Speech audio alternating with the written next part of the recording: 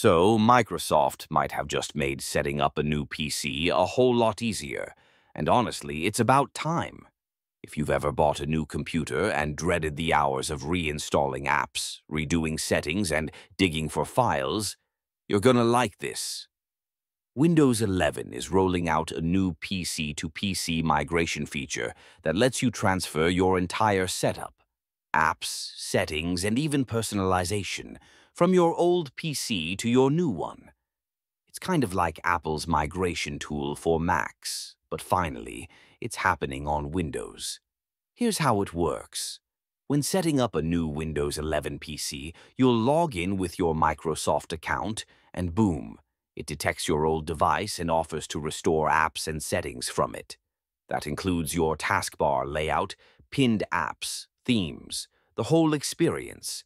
And no, you don't need to back everything up manually.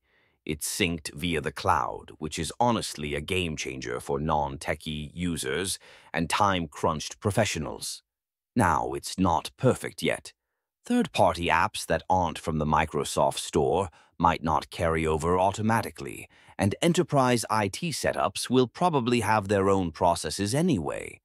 But for everyday users, huge improvement. Microsoft says this feature is part of a broader push to modernize Windows and make transitions smoother between devices. Whether you're upgrading to a new machine or recovering from a crash, this could really cut down setup time and frustration.